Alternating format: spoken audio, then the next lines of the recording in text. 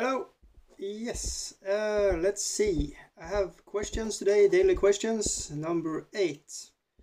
Uh, let's see. There are many 40k role-playing games out now by Fantasy Flight Games.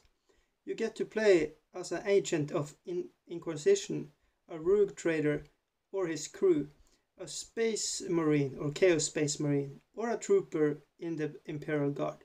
What would you like uh, to see FFG do a role playing game about next?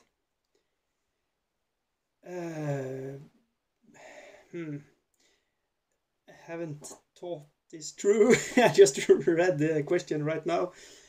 Uh, maybe uh, sleeper agents for the Xenos, Eldar agent, or even a Tyranid um, uh, humanoid thing. That would be cool. Maybe I don't know how you should incorporate it into the story because I haven't. I haven't re- read uh, read um, any of the role playing games uh, books by Fantasy Flight, so I, I really don't know.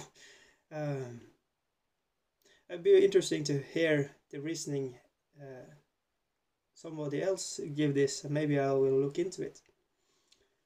Uh, yeah, okay. Progress of uh, this these dudes are getting on. Primed. Then I put on uh, uh, ink just to see the details, and then I worked on the blues.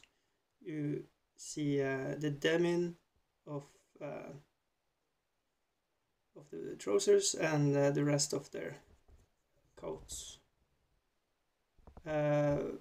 Dry brushed it and I'm going to uh, I use this as a base color and this for the demi and highlight with uh, this. Uh, and highlighted with this on the demin trousers. The Levi's.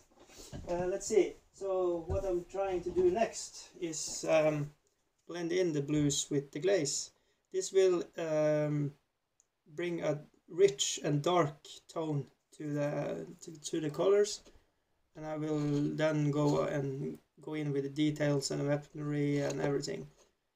And wash it and be done. So it's browns and um, flesh tones and uh, metals that that are next. And um, I think I will keep this white of soft sort of white maybe like this but more uh, brightened up.